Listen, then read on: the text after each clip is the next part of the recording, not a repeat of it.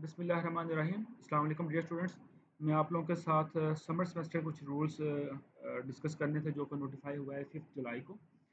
इस नोटिफिकेशन के अंदर ये चेंजिंग है कि जो पहले B S M S C M Phil और पी एच डी इनके जो एकेडमिक कैलेंडर था, वो डिफरेंट था। मगर इस नोटिफिकेशन के बाद जो सारे सेमेस्टर्स का, समर सेमेस्टर का कैलेंडर है, वो सेम हो गया।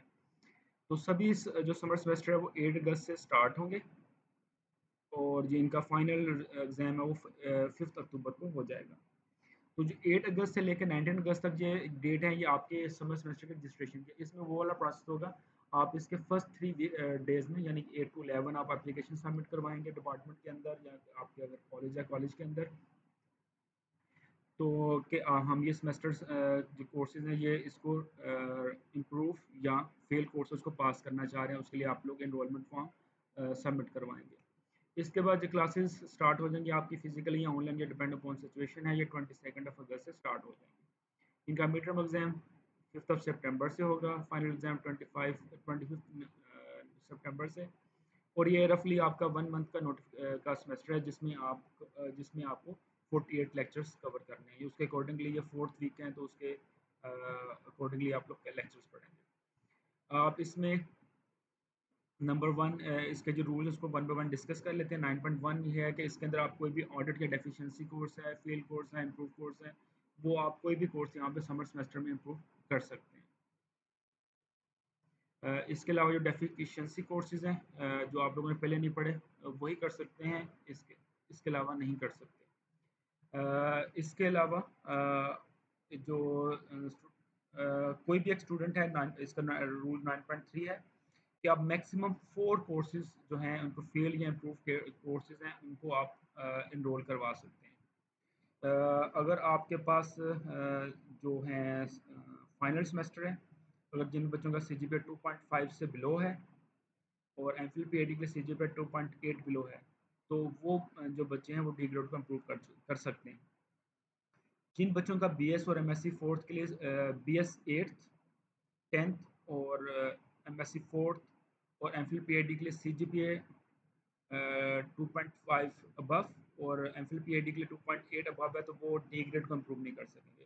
क्योंकि वो उनकी डिग्री कंप्लीट हो चुकी है, इनका फाइनल ईयर है तो वो उसको इम्प्रूव नहीं कर सकेंगे। सिर्फ़ एफ़ ग्रेड अगर उनका है तो उसको वो पास पास के लिए कर सकेंगे।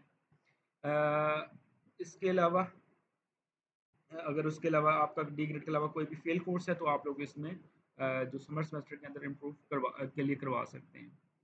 तो अब ये याद है अगर आप फाइनल सेमेस्टर में हैं, जैसे एलएलबी है टेंथ सेमेस्टर है डी फार्मेसी टेंथ सेमेस्टर है, या बी एस एट सेमेस्टर है अदर जो कोर्स जिनके एट सेमेस्टर होते हैं तो अगर उनका आपका C G two point five below है तो आप कोई भी कोर्स इम्प्रूव नहीं कर सकते।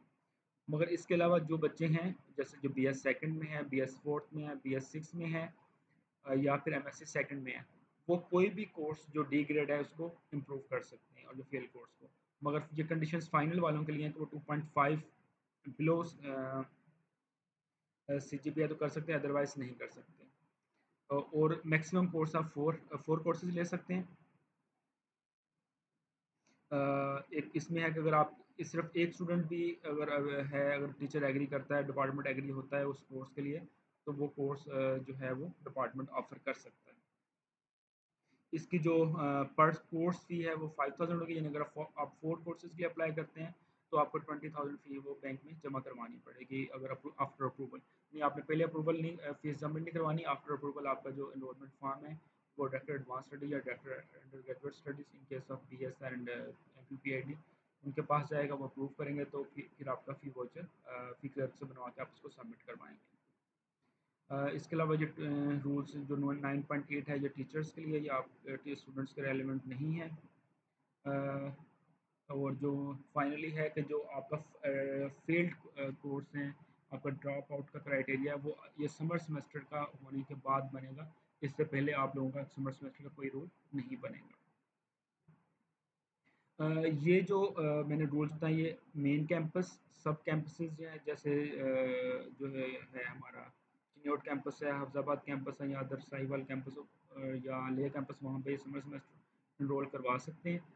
अगर आपके पास ये वहाँ पे ये कोर्स ऑफ़र नहीं हो रहे तो जो एफिलेटेड कॉलेज के बच्चे, चाहे गवर्नमेंट से या प्राइवेट से है तो वो भी समर सेमेस्टर के जो कोर्सेज हैं, वो मेन कैंपस या जो आपका सब कैंपस है, अगर आपके नियर बाई वहाँ पे कोर्स ऑफ़र होता हो सकता है तो करवा सकते हैं। अदरवाइज़ वो मेन कैंपस के अंदर करवा सकते हैं। तो उसके लिए जो डेट है, वो फ़र्स्ट अगस्त है।